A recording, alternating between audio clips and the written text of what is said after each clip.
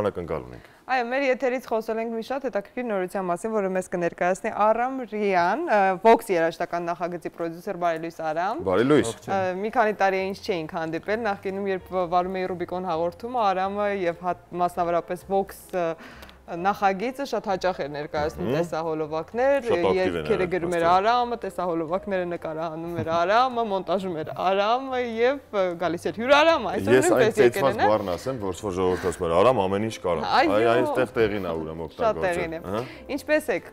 Ինչով եք զբաղվում այս մի քանի տարիների ընթացքում։ Շատ լավ, միշտ ստեղծագործում եմ, որովհետեւ որպես գործարան միշտ աշխատում եմ։ Vox նախագիծը երբեք չի քնում Ուղղակի գուցե եթերներից է պակասում, որտեղ արդեն 21-րդ դար է կա նաև այդ համացանցը, այդ հարթակը, որտեղ ավելի ակտիվ են ներկայացնում նյութերը, այնպես որ միշտ շարունակվում է թե անգլերեն լեզվով, թե հայերեն։ Այնքան ակտիվ, որ անգամ գրավեցիք աշխարհահռչակ խմբի ուշադրությունը։ Եկեք պատմենք այս հետաքրքիր նորության մասին։ Պատմեմ, հա, դե King խմբի մասին շատերը լսել են, որովհետև այսօր աշխարհում այն ամենաառաջատար խմբերից է բրիտանական։ Մի քիչ առաջ խոսում էինք, որ կարելի համեմատել Beatles-ի եւ Rolling Stones-ի հետ, որ ժամանակին նրանք զուգահեռ խմբեր էին։ Այսօր այդ զուգահեռ խմբերը Coldplay-ն ու King-ն են։ Այս բանը այդ King խումբը ամենա, չգիտեմ, աշխարհահռչակ եւ առաջատար Brit Award-ի մրցանակակիր խումբ, որը չգիտեմ, միշտ սրտից կպել է։ Միշտ ինձ համար եղել է այդ անգլիականության մարմնավորումը երաշտապես եւ չգիտեմ բազում նախագծեր ունեի բայց մի կողմ դրվեց մի պա եւ ինչ որ ոգեշնչման արդյունքում սկսեցի գրել այդ սիմֆոնիկ ուվերտյուրան իրենց վերջի ալբոմին նվիրված որովհետեւ շատ էր կպես սրտից այդ ալբոմը եւ կարելի ասել ընթացքում պատկերացնում էի ինչ հավես կլինի եթե նրանք էլ ասեն տեսնես կհավանեն թե սրտներով կլինի թե ոչ եւ տեղադրելուց հետո Twitter-ում այդ տեղադրել մոտ 2 օր անց արդեն մտածում եմ լավ հույս չկա։ Մեկը երրորդ օրվա առավոտը ցած պաշտոնական իրենց էջում անդրադարձան դրան։ Ոնց փայլես չէ, Արամի աչքերը հենց նոր, ահա։ Դե լույսից է։ Ահա։ Չէ, կինն էր մեղավորում։ Ահա։ Իդե վերջի շրջանում էս թեմանա, չէ, Արամն եւ նրա Ահա։ Փաստորեն նաև կատակում են, բայց ինչ հետաքրքիր է, չէ՞, տարիներ առաջ ինչ անհասանելի են անգամ մեր հայ երգիչները, այսինքն նրանց տեսնելու համար միայն կարող էր գնալ համերգներին, մի քանի ժամ հերթ կանգներ, որպեսի նկարվեր համերգից հետո, իսկ հիմա անգամ քին խումբը փաստորեն Twitter-ի միջոցով, իսկ դու ասում ես համացանց, համացանց, համացանց։ Դե, այնպես չի, որ ամեն մեկին ոնց որ անդրադառնում են։ Բայց այնուամենայնիվ ավելի հնարավոր է։ Եվ փաստորեն չասեցի, որ նրանք Այդ էր ինձ հետաքրքիր։ Ինչ են ասել հա, վերջերս։ Ինչ են ասել, նրանք ուղղակի շնորհակալություն են հայտնում, ասում են, որ չափազանց տպավորված են այդ ստեղծագործության, որովհետև այդ ուվերտյուրայի մեջ զետեղված են ոնց որ մեղեդիները ամբողջական այդ ալբոմից 7 րոպեի ընթացքում։ Եվ ուղղակի զարմացած էին ամեն մեկն ասում էր թե որ կտորն է հավանել եւ ամենակարևորը որ ասում են սրա արդյունքում մենք ոնց որ հույս ունենք որ կայացել ենք նաեւ Հայաստան, այսինքն վերջապես ոնց ոչ հիմա չեն եղել Հայաստան։ Չէ։ Բայց գալու են Գալու են, խոստացել են որ գալու են։ Պատասխանատվությունն որ պետք է սպասենք հենց կարանտին ավարտվի։ Շատ լավ։ Այսինքն պարապ չեք նստել ստեղծագործել եք, դա հասկացանք, այդ հանրահայտ մի հատ խմբի հետ եք խոսել, շփվել, ձեզ պատասխանել են այնտեղից խոստացել են որ կգան Հայաստան, մենա համերգ պիտի ունենան։ Հուսանք, հուսանք համագործակցություն կլինի ձեզ հետ միասին։ Դեռ թող բացվեն այս ոնց որ ճանապարհները, նոր ռեալ խոսենք, դեռ ոչ եմ ուզում։ Այդ ամենը պարզապես Twitter-ի միջոցով են պատասխանել, կարծում ժամանակը կգա արդեն ավելի մանրամասն։ Չէ, արձագանքը նաև այդ ինչպես են ասում, ամբողջ աշխարհի իրենց երկրպագուների, կարելի ասել, ոնց որ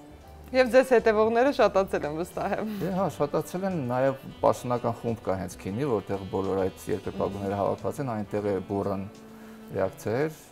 չգիտեմ, ինձ երկրպագուներին նույնպես դուր է եկել կարևորը։ Անշուշտ, անշուշտ, հենց դրանց շնորհիվ, որովհետև նրանք ավելի շուտ են այն առաջ երկու օրվա ընթացքում լսել եւ տարածում։ Երևի դրա շնորհիվ է քինին ականջին ասել էր։ Ես սելի հստատողներ ասեմ, որ ծանոթացել եմ Vox խմբին, բարև աղջիկս ոնց ես, այսպեսի մի շատ հետարքիր երգ կա ու շատ հետարքիր լուծում տված նաև տեսահոլովակի, բայց մանեն ինչպես քիչ առաջ նշեց, նա վաղուց է ծանոթ պաստորեն խմբին։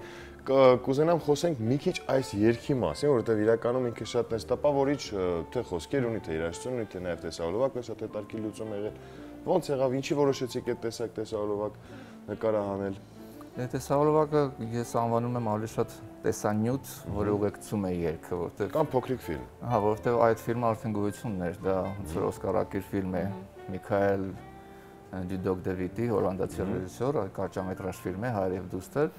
Ուղղակի որոշեցինք որպես ժամանակավոր տեսանյութ մատուցել երկի հետ, մինչև հասկանանք թե ինչ տեսահոլովակ ենք անում, բայց հուզական մակարդակի վրա շատ համապատասխանեց եւ կարծես այդպես էլ մնաց, գուցե մի օր իսկական պաշտոնական տեսահոլովակ կլինի, բայց ասենք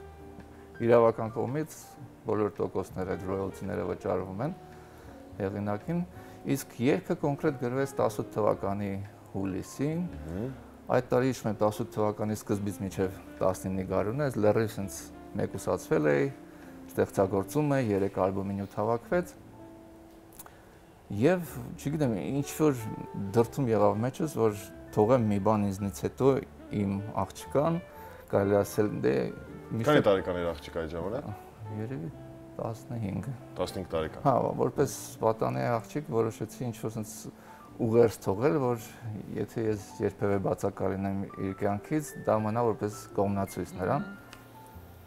Եվ արդյունքում երբ որ տեղադրեցի, աստորեն դեռ սպասում է երբ կլինի, որովհետև անձամբ իրեն որպես ֆայլ արդեն 18 թվականին նվիրել է։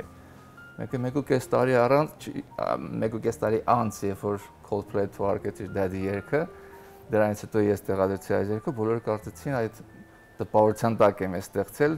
մինչդեռ այդ երգը արդեն վաղուց գոյություն ուներ։ Կային նաև ապացույցներ։ Այո, դե ֆայլի ասենք ժամկետը բանը եւ ամեն ինչը։ Բայց դե Coldplay-ի մոտ ոնց որ երեխան է երգում հայրիկին, այստեղ ավելի լուրջ հայրական ուղերձ է հանդեպ աղջկա եւ արձագանքն է շատ տպավորիչ, որովհետև, չգիտեմ, հուզական մակարդակի վրա այնպիսի արձագանքներ էին, դե բացի կոմենտներից,